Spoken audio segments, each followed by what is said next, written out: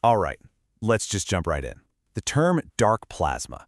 I mean, it sounds incredible, right? Like something pulled straight from a sci-fi blockbuster. This mysterious, invisible stuff just hanging out in space. But what if I told you that this very term is at the heart of a major cosmic mix-up? Well, today we're going to untangle that whole mess. So what's the real story here? Is dark plasma some kind of ghost in the cosmic machine? A genuinely new type of matter that could unlock the universe's biggest secrets? Or is it just a classic case of mistaken identity? That is the big question we're digging into. You know, the whole confusion really boils down to this, a tale of two very different plasmas. On one side, you've got the misconception, this idea that dark plasma is just regular, ordinary matter that's, well, gone a bit dim. But the reality, the thing physicists are actually searching for, oh, that's something way, way more bizarre. A totally new kind of matter. Okay, so before we get to the really wild exotic stuff, we've got to clear the air about what dark plasma is not. And that means we have to start by busting this myth of ordinary plasma just flipping a switch into some kind of dark mode. So, let's do a quick refresher. Ordinary plasma, right? It's the fourth state of matter. It's what happens when you superheat a gas, and I mean really heat it until its atoms just rip apart into charged particles, you know, electrons and protons. It's actually the most common state of matter in the universe. It makes up our sun, all the stars, the whole shebang. And the key thing, the most important part to remember, is that it lives and breathes through the force of electromagnetism. So when you hear people talk about this plasma being in dark mode, it's honestly a little misleading. It doesn't mean it's suddenly become invisible or poof, turned into dark matter. Nope, it just means it's not glowing brightly in the specific kind of light our human eyes can see. Maybe it's cooled down a bit, or it's less dense, so it's just not as luminous. But here's the kicker. Even when it's not shining brightly, this so-called dark mode plasma is far from hidden. Our instruments are so much more powerful than our eyeballs. We can easily detect the heat it's giving off with infrared spectroscopy, or we can pick up its high-energy signatures with X-ray and radio telescopes. It's still there, loud and clear, just not in the tiny sliver of light that we call the visible spectrum. And really, that's the bottom line right there. The stuff isn't truly invisible. It's just a little camera shot, you could say.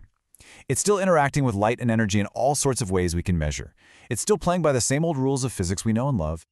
All right, so now that we've cleared up that misconception, we can finally turn to the main event.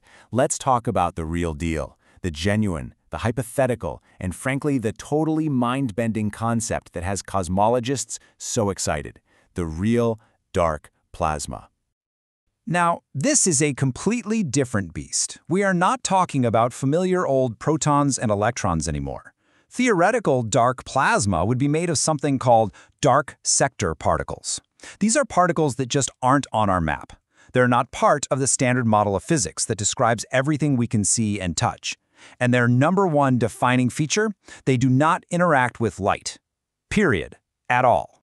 And this brings us to the fundamental split between them. Ordinary plasma, as we said, is ruled by electromagnetism, the force carried by photons, which are particles of light. But dark plasma? Theorists think it might be governed by its own private force, a kind of dark electromagnetism that only affects other dark matter particles. It's like a hidden universe with its own secret set of rules. I mean, just stop and think about what that really means. We are talking about true, total invisibility. This theoretical plasma wouldn't give off light, it wouldn't block light, it wouldn't even scatter light.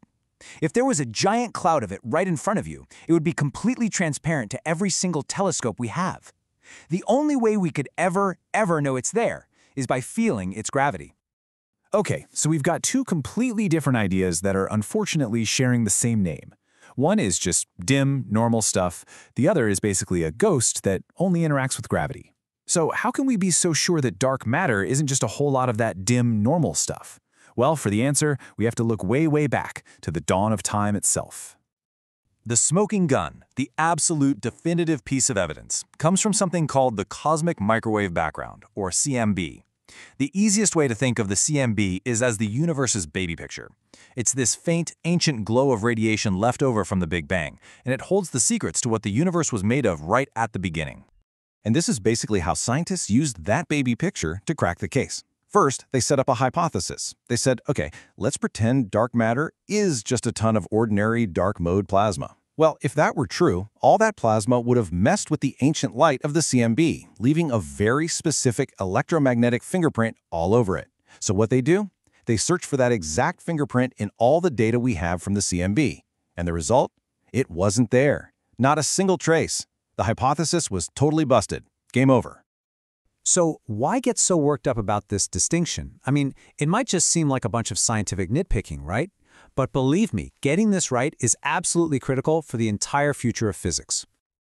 So let's just lay it all out. Side by side, you've got dark mode plasma, made of normal particles, uses the normal electromagnetic force, and we can totally detect it with our instruments. Then you've got the real dark plasma, made of hypothetical dark particles, using a hypothetical dark force, and only detectable by its gravity. One idea was completely ruled out by the CMB, the other one fits perfectly. They could not be more different. And that right there is why this matters so much. If we confuse these two things, we risk sending scientists on a massive wild goose chase. We'd be building these incredibly expensive experiments to look for dim, normal matter when we should be designing completely new, out-of-the-box methods to find a substance that doesn't care about light at all. It could literally derail the entire hunt for dark matter.